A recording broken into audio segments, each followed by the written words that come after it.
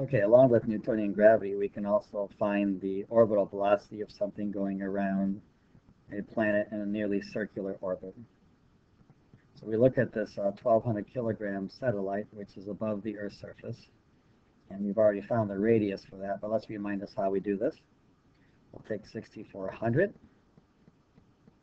plus the 150, and those are both kilometer values. So we times this by 1000 and get 6.55 times 10 to the 6 meters. Of course, gravity is what's causing the satellite to remain in a circle around the orbit here. So therefore, we know that force gravity is equal to force centripetal. But since we're using Newtonian gravity, force gravity equals G m1 m2 divided by r squared. We want to derive an equation for the orbital velocity for the satellite around the Earth. So I'm going to write it like this. I'll say G capital M little m. And capital M means the mass of the planet here. I'll, I'll put a capital M next to that. And the little m is the mass of the satellite here. And we'll divide that by radius squared. We'll set that equal to force centripetal, which would be mv squared divided by r. So then we notice the masses will cross off.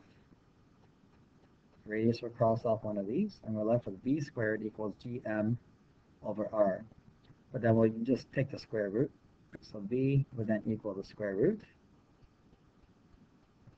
of g big M divided by R. Let's solve for that in this particular question. So orbital velocity v would equal the square root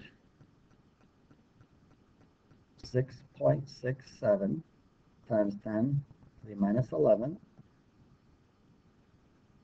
multiplied by the mass of the Earth 5.98 times 10 to the 24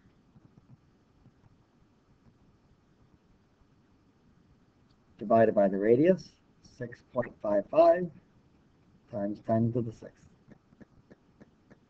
And then solving for velocity, we do get an answer of 7,800 meters per second.